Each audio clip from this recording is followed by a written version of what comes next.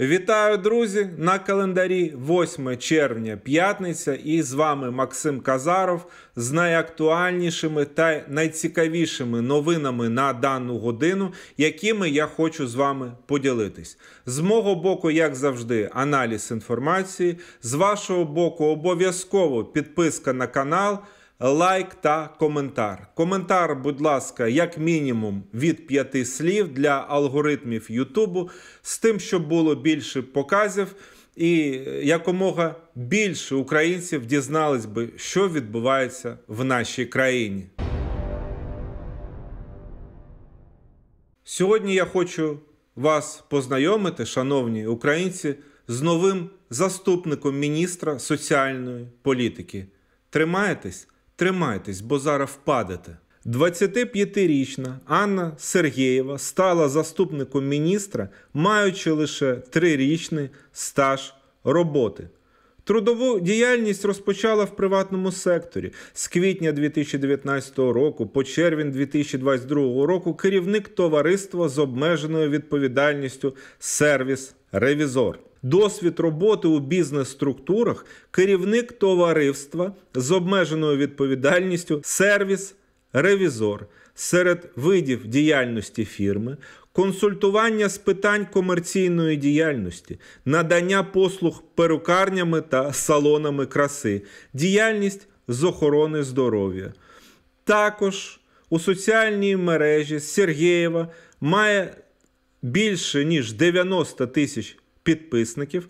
Але коли журналісти зацікавились, хто ж ця особа, її аккаунт на даний момент закритий для вільному перегляду. Тому е, на сьогодні ми не маємо змоги подивитись, чим вона займається і як живе. Є тільки деякі фотографії, але я впевнений, що зараз вона підтирає все це, що може обурити суспільство в своїх соціальних мережах. 25-річна заступник міністра Сергєєва отримуватиме в два рази більше, ніж Зеленський. Відповідно до наказу Мінсоцполітики від 13 червня 2022 року про призначення Сергеєвою АО посадовий оклад заступника міністра соціальної політики України з питань європейської інтеграції становить 68 тисяч 643 гривні на місяць. Я намагався подивитись на інстаграм Сергєєвої, але, на жаль, він закрити. І що саме смішне, зараз я вам покажу, як вона підтирає свої публікації. Ви бачите 322 публікації, а на сьогодні тих публікацій вже 280. 42 публікації було видалено. Щось вона хоче приховати. Напевно, своє розкішне життя. Що написав телеграм-канал Резидент? Идет война, все ждут профессионалов в правительстве, а они продолжают назначать своих любовниц на должности. Уважаемые журналисты, может пора вспомнить о вашей роли в государстве? Неужели вы думаете, что власть в стране изменилась? Без контроля СМИ и общественного резонанса ничего не поменяется?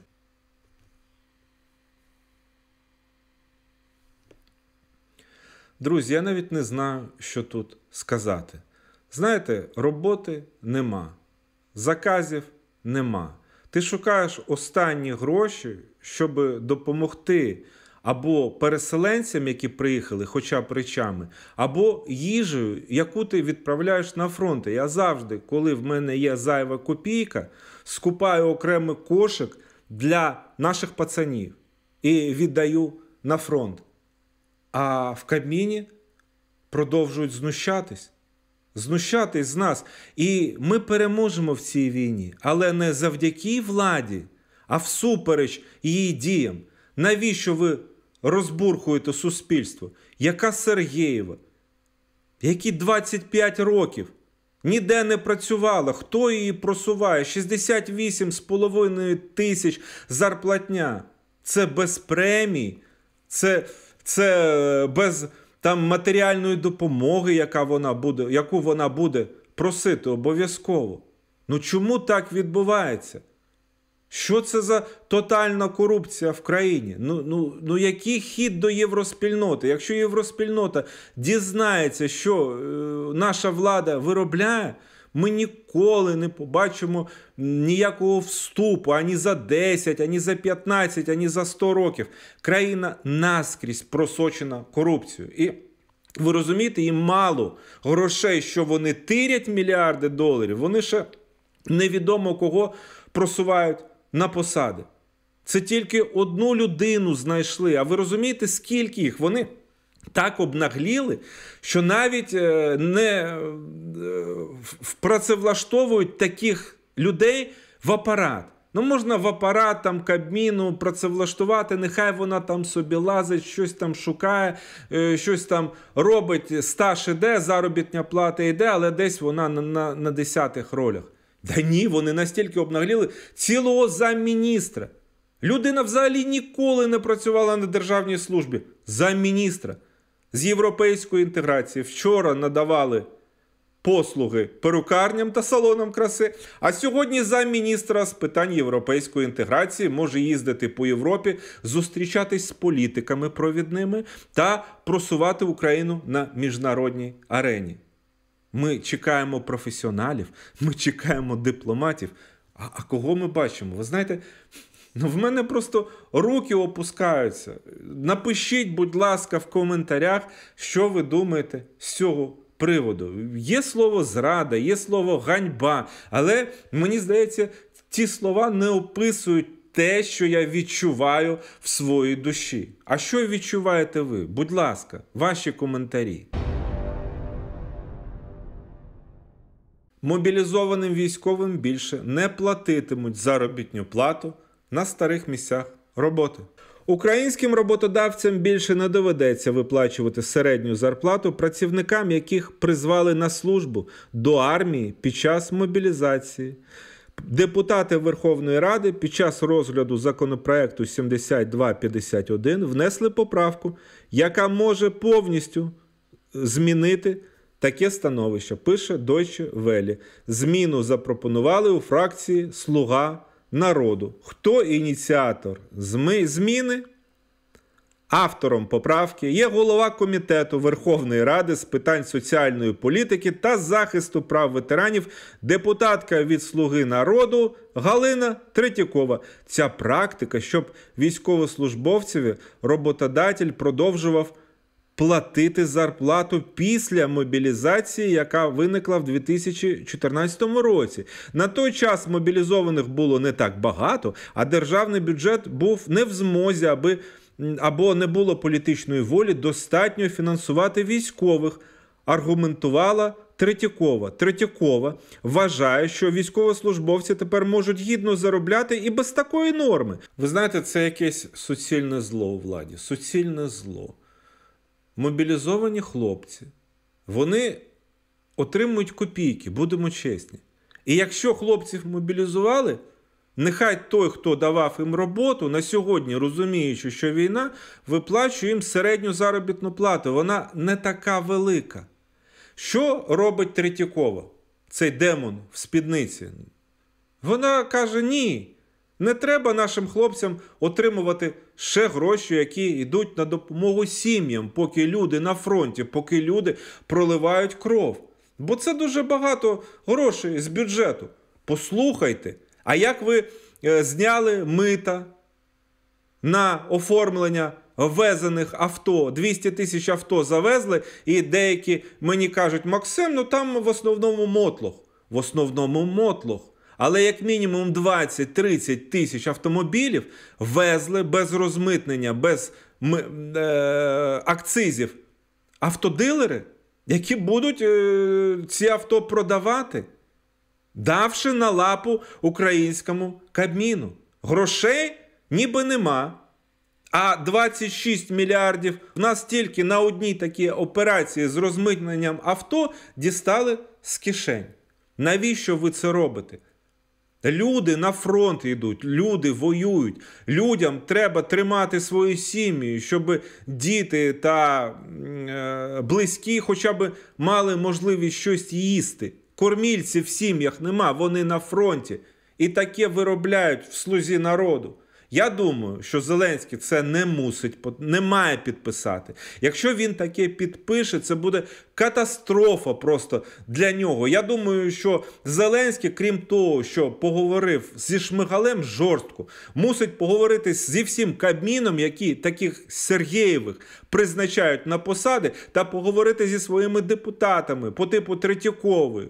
Чому вона до сих пір керує комітетом? Її треба звільняти. Вона нічого спільного з соціальною політикою не має. Це антисоціальна політика. Ну ганьба просто. Ну я не знаю. Ну вже війна. Можете ви заспокоїтися, і якщо не приймаєте участь в бойових діях, ну хоча б не заважати українцям перемагати.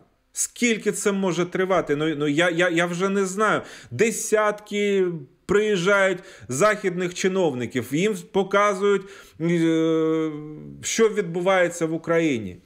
Які бомбардування, які ракетні обстріли. Та ви покажіть, що відбувається в парламенті та в Кабміні. Там в того ж Бориса Джонсона і так така е, зачіска дивна. Там все волосся, і в ліс трас, і в Блінкіна так дибки стане. Що ви виробляєте, як ви обкрадаєте країну під час війни? Ну можете заспокоїтись хоча б на півроку.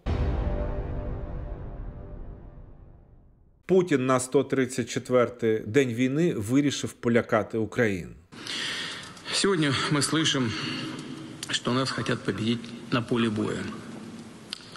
Ну, что здесь скажешь? Пусть попробуют. Мы уже много слышали, что Запад хочет воевать с нами до последнего украинца. Это трагедия для украинского народа. Но, похоже, все к этому и идет.